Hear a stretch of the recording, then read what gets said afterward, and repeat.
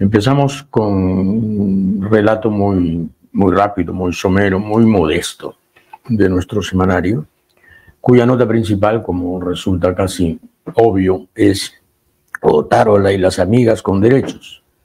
La verdadera historia, la historia completa del señor Otárola y de sus amistades particulares y premiadas, siempre premiadas con algún puesto con alguna suma, por supuesto, del Tesoro Público.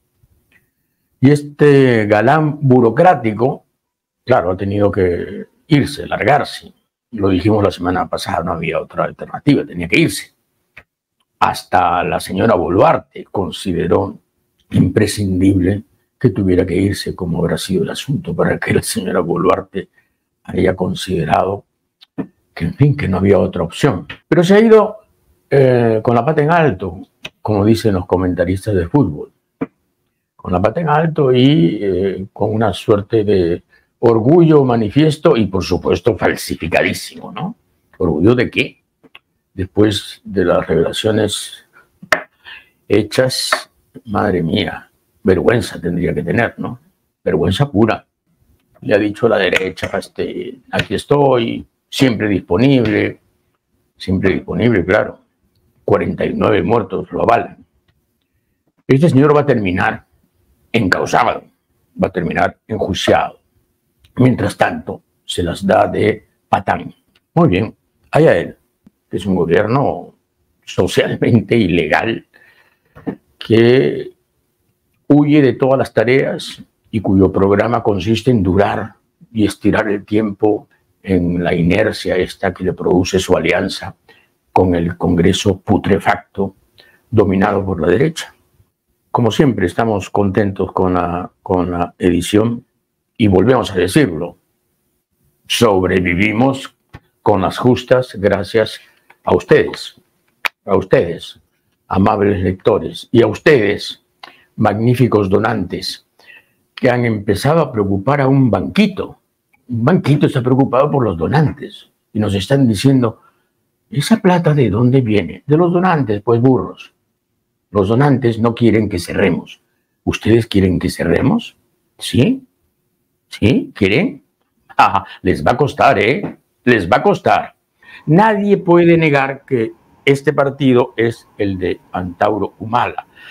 Y todo sería legítimo y sería limpio si Antauro Mala no tuviera los precedentes que tiene y no propusiera el programa apocalíptico y criminal que propone. Pero digamos, al margen de lo que proponga ahora, paredones, sueños así criminales vastos, ¿no? Todo lo que su imaginación psicopática le permite, al margen de esos, suponiendo que eso no importe y que tiene todo el derecho de representar el, malestar social o el malestar mental. Ya, ok, tiene el derecho. El asunto es que este señor este, estuvo 17 años preso por, hombre, por hechos de sangre que, en fin, determinaron la muerte de cuatro agentes de la policía. Yo puedo estar, o sea, yo, yo, yo puedo matar a cuatro policías o hacer que mueran cuatro policías y luego presentarme y el jurado me ampara. Así es, doctor. Nosotros no podemos prohibir aquello que no está previsto en la ley. Nosotros no podemos hacer de cuenta de que somos los grandes cuestores y que podemos generar el castigo de la expulsión o el castigo de la prohibición. Nosotros administramos justicia electoral sobre la base de la ley y nuestros parámetros para obrar están señalados en la ley. Le dijeron hipócrita, cobarde, llorón, malparido. Madre mía gritaban así en su son las más dulces. Esas son las más dulces. Las más dulces. ¿Por qué lo odian tanto? Bueno, porque no tienen acceso a este presidente del Jurado Nacional de Elecciones. Porque yo no tomo cafecito, whiskycito o lo que fuera con ningún político de ninguna tienda política. Y porque me responsabilizan de no haber detenido las elecciones 20, 21 para eh, un, una suerte de pericia sobre firmas que se dijeron que eran falsas y que no se acreditaron jamás como tales, ¿no? y que ha habido incluso una comisión que le ha costado unos miles de soles al país, ¿no? Del Parlamento, que pidió 3.200 o 300 actas de sufragio, ¿no? Revisó las actas con sus especialistas y terminó diciendo que no había pues falsificación. Y nos siguen pidiendo la presentación de padrones o listas de, elección que nosotros nunca hemos tenido, don César no hemos tenido ni tendremos, porque los padrones de elección no son instrumentos que manejemos nosotros como jurado. Mire usted, en la segunda vuelta ha salido un audio, ¿no? Un audio de una conversación sostenida entre el señor Vladimiro Montesinos y un militar, ¿no? Y entonces retirado. Donde usted lo llama el enemigo. Así es, porque ofrece, le pide arreglarlo todo con 3 millones de dólares. Da el nombre de un miembro del, jurado de ese tiempo, ¿no? Y los otros, y de otros dos. Y entonces le pregunta, ¿y, también está el presidente? No, ese es enemigo. Y es verdad, pues soy enemigo de la corrupción. Eso también debe ser incómodo para algunos. He sentido simpatías con pensamientos de izquierda. ¿Eso tuvo algo que ver con su neutralidad en relación a Castillo y el 21? Estamos hablando de hace 45 años atrás. Y no he tenido... Cuando, cuando usted era marxista. Cuando yo era un estudiante universitario que tenía simpatías. Pero simpatías. 45 años y yo... ¿Y ahora, y ahora ¿por, qué, ¿por qué siente simpatía, doctor? Por la democracia. Por la democracia. ¿Vivimos en democracia? Doctor, ¿vivimos en democracia? Yo creo que si nosotros revisamos los baremos internacionales, somos una democracia híbrida todavía. El proyecto y el proyecto para que el comando conjunto se quede con las cédulas de votación también está en el Congreso. Así es, así es. Un retroceso de varios años, ¿no? De 40 años, ¿no? Y eh, para tutelar. Tutelar, no, tutelar no. Probablemente cometieron fraude y claro, con el respaldo de las armas, ¿quién le diría que no al comando conjunto si hay una modificación de la votación? Bueno, vamos a regresar a la época de las, de las butifarras y las borracheras. Si, si, es, si es que lo permitimos, ¿no? Fernando Sillonis, que fue gobernador de Ica por el Fujimorismo, como no, dice que el Ministerio Público es una porquería. Corresponde un borrón y cuenta nueva. No, hombre. Porquerías son los partidos que, que están en el candelero en el Congreso. El suyo, por ejemplo. El suyo. Aunque usted se apartó un poquito, desde el punto de vista sentimental, sigue siendo usted, señor Sillones, un gran fujimorista. Porquería es eso. Esta porquería que además es persecutoria, que además nos sigue, de un modo obstinado hace 30 años, que seguimos en lo mismo. Hace 30 años que nos persigue esta sombra ominosa, esta nube gris que nubla nuestro camino. Eso es porquería. Eso es porquería.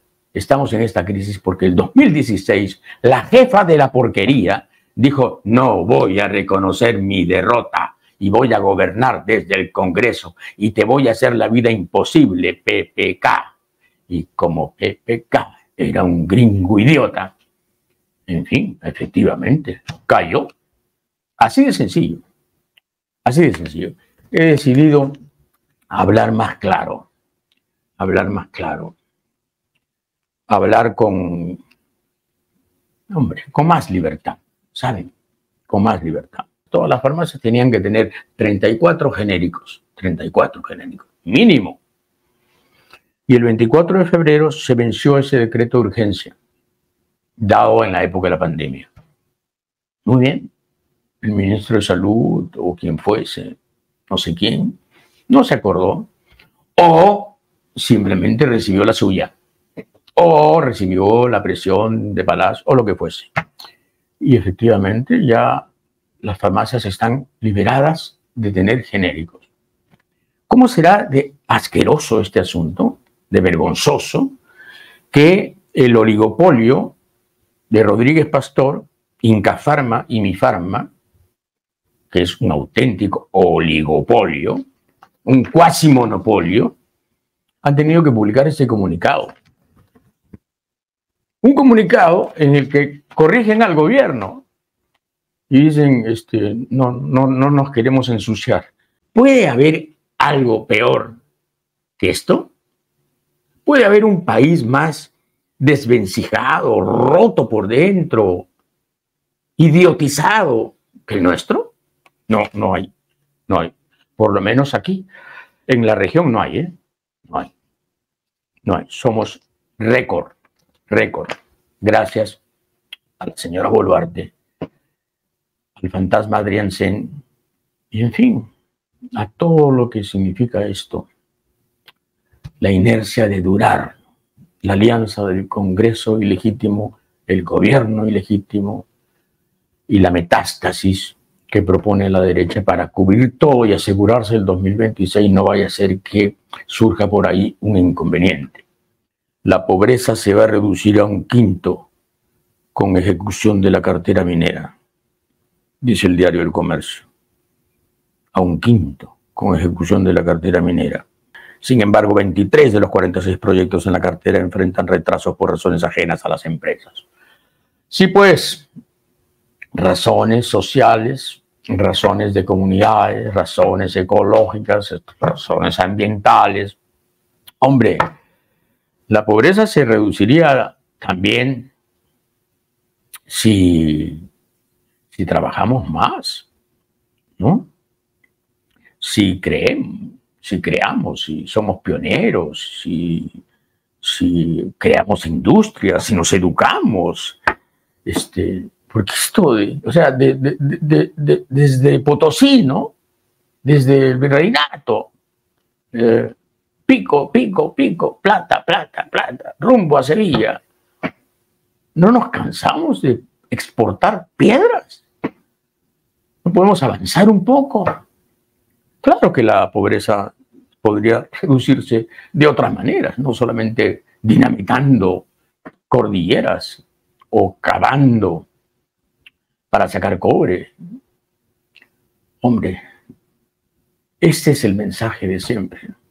Potosí, ese condenado, estás condenado a Potosí. Potosí. Potonó, digo yo. José Williams, Jorge Montoya, José Cueto, Roberto Quiabra, Alfredo Azurín, todos exmilitares, todos congresistas, todos todos modificaron la ley, todos modificaron la ley para beneficiarse. La ley decía que los militares solo podían recibir un segundo sueldo si este segundo sueldo provenía de la educación. Cambiaron la ley y ahora cobran doble, cobran como congresistas y cobran sus pensiones, por supuesto, actualizadas. Y en general, todos, todos están cobrando 34.500 soles. Como ustedes saben, se aprobó el asunto de las dos cámaras, ¿no? La bicameralidad. Dos cámaras.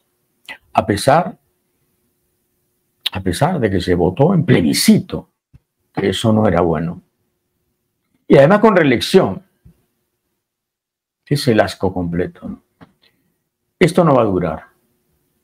Esto va a tener que ser mm, arrasado por alguna instancia, espero, superior.